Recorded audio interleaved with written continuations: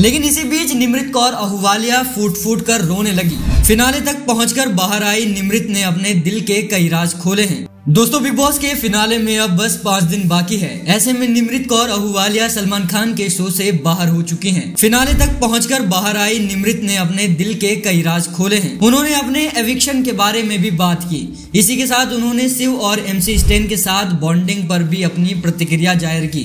निवृत्त ने बताया कि वह ग्रैंड फिनाले में किसके हाथ ट्रॉफी देखना चाहती है। लेकिन इसी बीच निमृत कौर अहुवालिया फूट फूट कर रोने लगी और उन्होंने कहा कि हर रोज मुझे लोग नीचा दिखाते थे। दोस्तों, एक इंटरव्यू के दौरान निर्मित ने घर वालों से अपने एविक्शन पर बात की।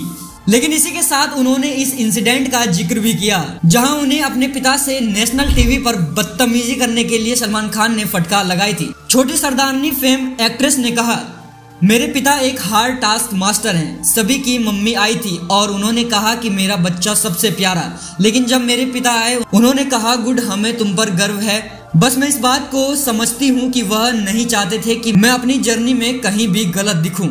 निमृत ने अपनी बात को आगे बढ़ाते हुए कहा मैंने इस चीज़ को चुना है कि मैं नेशनल टीवी पर रियल रहूँ और जैसी हूँ, वैसी ही रहूँगी, क्योंकि वह मेरे पिता हैं। इसका मतलब ये नहीं कि मैं अपनी भावनाओं को दबा दूँ। माता पिता और बच्चों के बीच में ऐसा रिश्ता होता है, जो भाई बहन में भी नहीं होता। अगर मैं अपने पिता के सामने दस साल की बच्ची नहीं बन सकती, उन्हें ये नहीं बता सकती कि मैं किस चीज़ से गुजर रही हूँ। हर दिन लोग मुझे गिराने की कोशिश कर रहे हैं। अगर मैं वह उनके सामने नहीं एक्सप्रेस कर सकती तो क्या फ़ायदा?